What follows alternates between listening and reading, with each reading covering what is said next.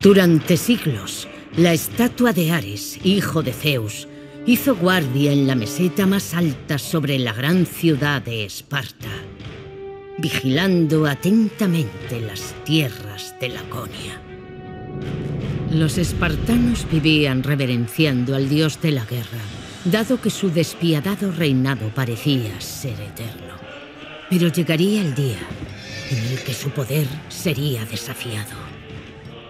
Kratos, un general espartano, acabaría con Ares y ocuparía su lugar como nuevo dios de la guerra entre los dioses del Olimpo. Los espartanos lo verían como uno de los suyos, un auténtico hijo de Esparta y un gobernante justo para su gran ciudad.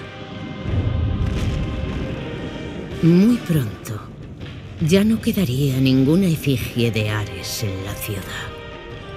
En su lugar, se erigieron estatuas en honor de Kratos, el nuevo dios de la guerra.